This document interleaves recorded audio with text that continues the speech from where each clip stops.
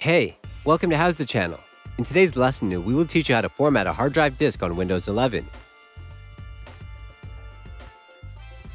Go to your taskbar, right-click on the Windows icon, choose Disk Management from the list. A new window will open. Find your hard drive.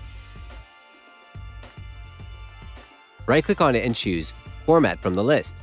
A new window will open. Set Volume Label. Set File System. Choose Allocation Unit Size from the drop-down list. Click OK to begin. There's another way to format your hard disk. Open File Explorer. Go to This PC. Find your hard drive. Right-click on it and choose Format from the list. Set capacity. Choose File System. Choose Allocation Unit Size from the drop-down list. Enable or disable Quick Format. Click Start to begin. That's it. Thanks for watching the video. Please like it and let us know if you used any of our tips and tricks. Subscribe to our channel. We upload new tutorials every day.